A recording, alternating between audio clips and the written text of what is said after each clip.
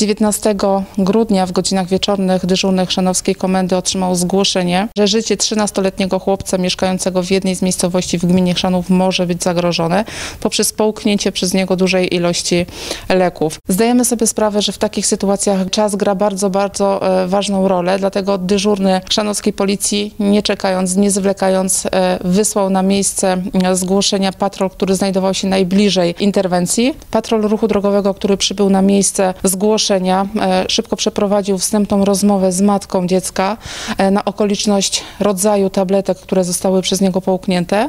E, Mając tą informację, następnie podjęli czynności zmierzają, które miały na celu wywołanie torsji u tego nieletniego w celu zwrócenia mm, tych wszystkich tabletek, a następnie monitorowali jego czynności życiowe aż do przyjazdu załogi pogotowia ratunkowego. Jak określił jeden z ratowników medycznych, zażycie takiej ilości tego rodzaju środków e, stwarzało realne zagrożenie dla życia e, i zdrowia tego nieletniego chłopca. Po wykonaniu czynności na miejscu zarówno e, funkcjonariuszy, jak i załogi karetki pogotowia nieletni został przewieziony do szpitala, gdzie pozostał na obserwacji.